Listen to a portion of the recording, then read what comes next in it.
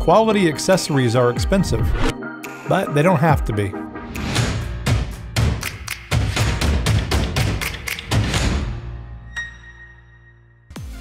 This is the Tarion H1 smartphone clip. I'm not sure why they call it a clip, I would call it a mount, but nonetheless it's a mount or clip for your photography and video needs using your smartphone. If you follow our channel then you know we use a Shoulderpod for our mount and this reminds me a lot of the Shoulderpod. The design is similar but different in several ways including the spring-loaded mount. When you undo the release, the jaws spring open very quickly the kit comes with a wooden handle too. I find these small short handles like this to not be very useful though. But it works and is better than not having anything. A lot of these manufacturers send out these small handles, so it's not uncommon at all in this type of mount. One thing I do like though is the built-in cold shoe mount. It's great to be able to easily attach an accessory like a microphone or an LED light. And then it also comes with a wrist strap. It's a nice safety feature, although I find I don't really use it very often.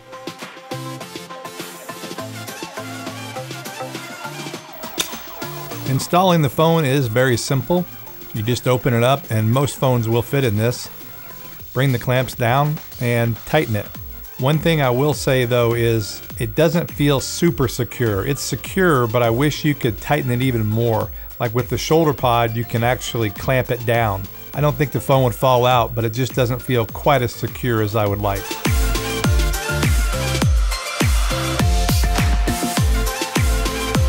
Our favorite way to use a mount like this is with a tripod. Now this is a tabletop tripod, but of course it could mount on any kind of tripod, a photo tripod or even a bigger professional video tripod. But one thing I really like about these tabletop tripods is they can also work as a hand grip, a quasi-stabilizer. The phone feels secure, I wasn't worried about it falling off. Again, I wish it was a little bit of a tighter grip, but it definitely does the job. Or instead of a tripod like this, you could use an actual handle.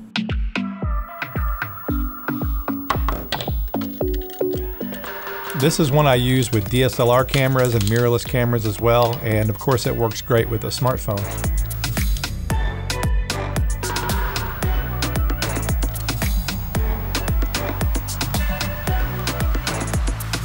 And the mount works fine with this too. It feels very secure in your hand. And with this handle, you can mount it onto a tripod. So using a tripod or a hand grip like this gives you a lot of flexibility depending on what you're shooting. And then adding to that is using the cold shoe. I really like this. With the Shoulderpod, you can add a cold shoe, but it's not part of the actual handle. It sits next to it, which works fine, but I like that this is put together, and there's several other ones like this on the market too. One thing I like to do is keep my mobile filmmaking kit compact. And so like in this instance, you've got your case, the mount, and then a microphone, and you can go shoot pretty much in any scenario. And this is actually a moment case, so I could add lenses to this too.